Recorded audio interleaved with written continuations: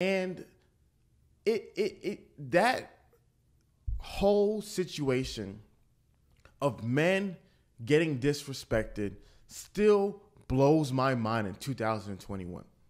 I mean, what in the world is going on where men still continue to choose somebody. It's not like you're being forced, like it's an arranged marriage and, and there's legal laws where you can't leave. No, you're choosing willingly to be with somebody who blatantly disrespects you and treats you less than you deserve over an extended period of time. That blows my mind.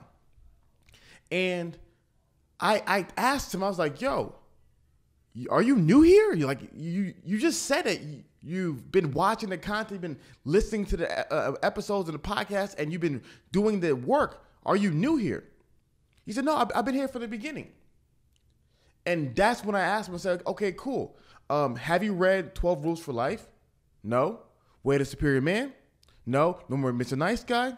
No. Skillshare? Free? No. Hasn't done anything, but has been here the entire time. And you see, what happens is when men don't put in the work, men get disrespected. Men get disrespected, not just in their relationships, in every aspect of life. And let me explain to you why. I have a friend who's a very successful man, multimillionaire dude, really successful guy. I love this guy.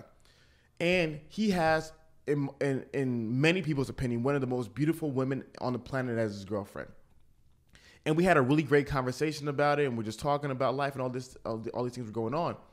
And one of the things i asked him i was like yo i mean obviously you having a um, you know a, a great relationship and you're happy but is there a lot of girls even though you're still in a relationship still trying to shoot at you still trying to get your attention? And he was like yes. He said there's so many equally as beautiful women to my girlfriend who are sliding in my DMs, approaching me in person, and, and, and some of them are even her friends, quote unquote. And so what happens is when you're a guy who's putting in the work, who's leveling up, who's improving himself, whatever resources you get, who's actually investing time in building himself up physically, emotionally, spiritually, financially, women notice it.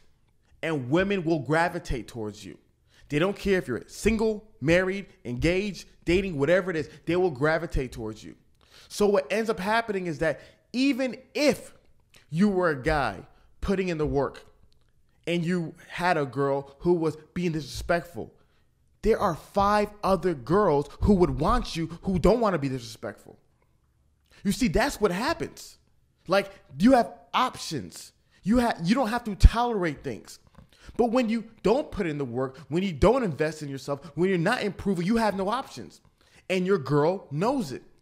And because she knows it, she can treat you anyway because she knows that you have no